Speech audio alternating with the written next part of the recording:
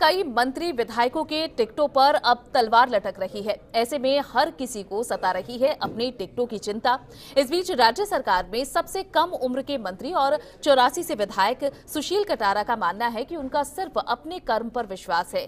जिसने जनता के लिए काम किया है, पार्टी उसे टिकट ज़रूर देगी। प्रदेश का युवा राजस्थान में फिर से भाजपा की सरकार देखना चाहता है। मंत्री सुशील कटारा से उनके विधानसभा क्षेत्र में बात की है हमारे संवाददाता मदन कलाल ने।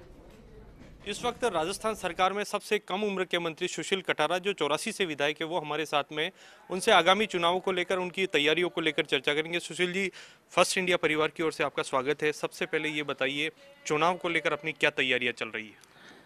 चौरासी विधानसभा क्षेत्र में फ़र्स्ट इंडिया का स्वागत करता हूँ। दूर दराज एरिया में इलेक्ट्रॉनिक मीडिया बहुत कम दिखाई देता है, फिर भी आप लोग यहाँ इस वागड़ की धरती पे पधारे, आपका स्वागत।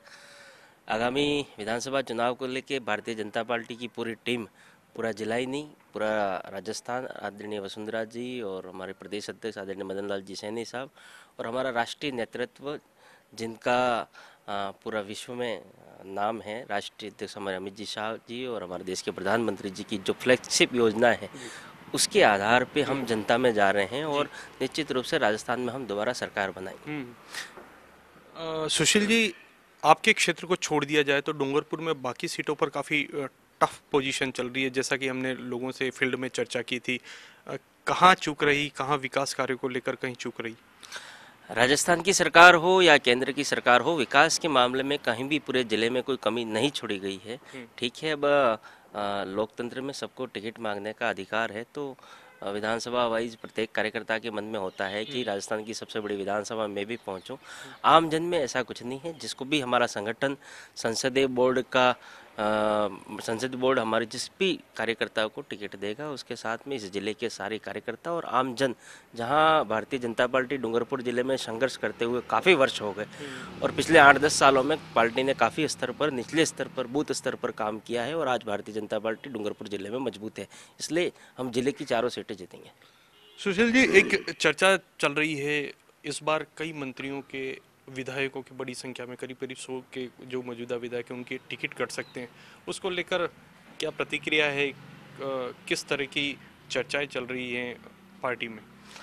आ, टिकट तय करना प्रदेश की कोर कमेटी का निर्णय है और फीडबैक धरातल पे संगठन द्वारा अलग अलग तरीके से लिया जाता है।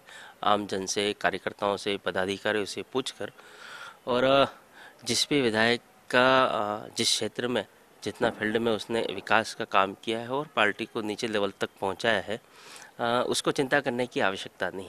किसका टिकट कटे, किसका नहीं कटे, ये प्रदेश संगठन का और राष्ट्रीय नेतृत्व का काम है। पर हमारा कार्यकर्ता है जो मजबूती के साथ काम करके और वापस राजस्थान में भारतीय जनता पार्टी की सरकार बनाएँगे और केंद्र में नरेंद्र मोदी जी के नेतृत्व में सरकार ये है सुशील कटारा।